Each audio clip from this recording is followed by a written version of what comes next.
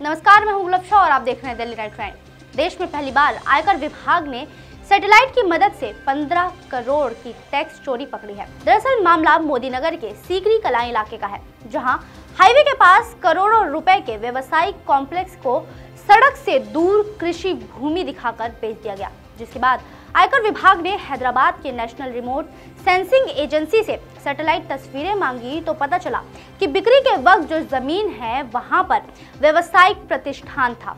आपको बता दें कि ये देश का पहला ऐसा मामला है जिसमें टैक्स चोरी पकड़ने के लिए सैटेलाइट इमेज का इस्तेमाल किया गया है। एक व्यक्ति ने टैक्स बचाने के लिए फरवरी 2016 में कमर्शियल कॉम्प्लेक्स की ज़मीन की कृषि भूमि के आधार पर टुकड़ों में रजिस्ट्री करवाई थी। आयकर विभाग ने ज़मीन की उस वक्त की वास्तविक स्थिति जानने के लिए हैदराबाद के नेशनल रिमोट सेंसिंग एजेंसी से उस जगह की पुरानी तस्वीरें मांगी। वहाँ से इमेज मिलने के बाद टीम ने राज्य की रिमोट सेंसिंग एजेंसी से ज़मीन की डिटेलिंग करवाई और उसके बाद पता चला कि जब उस जगह की रजिस्ट्री हुई थी, उस समय ज़मीन पर कमर्शियल कॉम्प्लेक्स बन चुका था।